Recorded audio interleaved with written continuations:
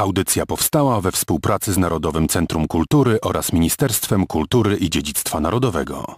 Jest pod Krakowem wieś o nazwie Wrząsowice. Jeden z jej mieszkańców, pan Rafał, zadał fundamentalne pytanie. Kim jesteśmy? Wrząsowianami czy Wrząsowiczanami? Podobne wątpliwości ma pani Monika z Powódki. Kim jest mój mąż?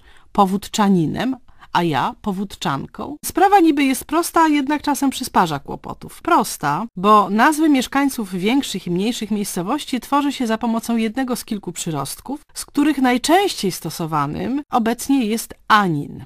Do nazw na przykład Sopot, Katowice dodajemy anin i oczywiście pamiętamy o zmiękczeniu ostatniej głoski tematu. Ty musi się zamienić w ci, cy, w czy i tak dalej. Powstają pary Sopot, Sopocianin czy Katowice, Katowiczanin. Gdy dodamy anin do nazw Wrząsowice, Powódka, powstaną Wrząsowiczanin, Powódczanin, a formy żeńskie to oczywiście Wrząsowiczanka, Powódczanka, tak jak Katowiczanka czy Sopocianka.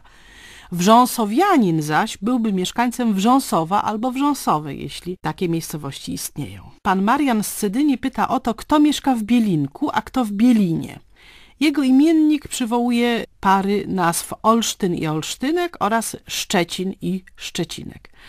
No to spróbujmy. Dodajemy anin do nazwy miejscowości, pamiętając oczywiście o zmiękczeniu ostatniej spółgłoski. Olsztyn plus anin, no to jest olsztynianin. Szczecin plus anin, szczecinianin. Bielin plus anin, bielinianin. A teraz weźmy Olsztynek, Szczecinek i Bielinek. Dodajemy do nich anin, zamieniamy k w czy i powstają Olsztynczanin, Szczecinczanin i Bielinczanin. W Szczecinczaninie i Bielincczaninie nie występuje e, obecne oczywiście w ostatniej sylabie wyrazów Szczecinek i Bielinek. W użyciu jest jednak jeszcze inna nazwa mieszkańca Szczecinka, taka, która powstała bez usunięcia e, Szczecinecczanin. Zarówno ona, jak i Szczecinczanin są rejestrowane przez słownik Słownik nazw miejscowości i mieszkańców, wydany w 2007 roku, a zawierający także formy zatwierdzone urzędowo, a więc warto z niego korzystać.